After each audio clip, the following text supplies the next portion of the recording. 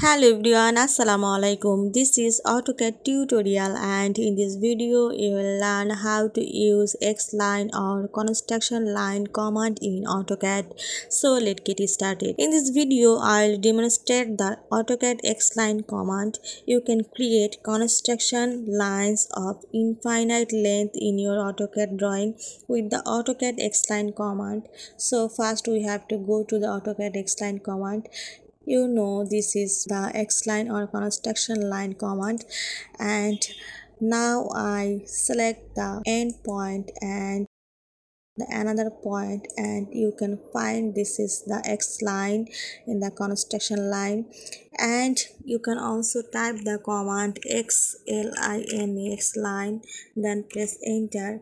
Then you can select the endpoint and you can find there the construction line and you can also draw it free or set it to be horizontal vertical flow a certain angle be the bisector of an angle or be parallel to certain line.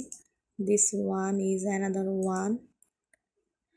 You can also create this. You can use also offset command in this x line command. So this is my construction line and i want to offset it 2 so press O for offset then press 2 and select the X line and click on this. This is the another one. So viewers i hope you will enjoy this video. Thanks for watching and don't forget to subscribe my channel. Thank you